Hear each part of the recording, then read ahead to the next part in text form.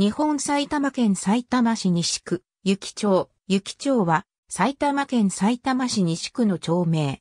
現行行政地名は雪町1丁目及び2丁目。郵便番号は331-0069。住居表示水市地区。雪とは旧遊場村のあざ名である。埼玉市西区西部の中関平野に位置する。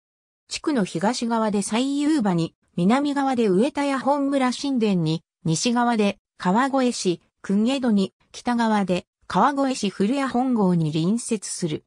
西区内には治水橋で荒川を渡らねばならぬため、隣接する川越市の方が関わりが強い。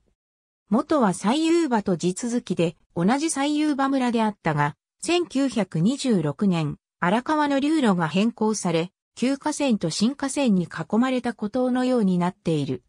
町域内は全域が市街化調整区域で、高知整理された水田で占められ、人家は少ない。2017年9月1日時点の世帯数と人口は以下の通りである。私立小中学校に通う場合、学区は以下の通りとなる。地区に鉄道は付設されていない。直線距離では川越線差し扇駅が近いが橋を渡り大きく迂回せねばならぬため川越線南古谷駅の方が近いと言える。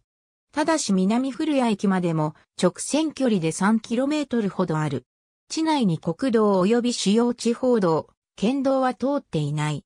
地内に路線バス及び埼玉市、コミュニティバス、埼玉市、乗り合いタクシーは設定されていない。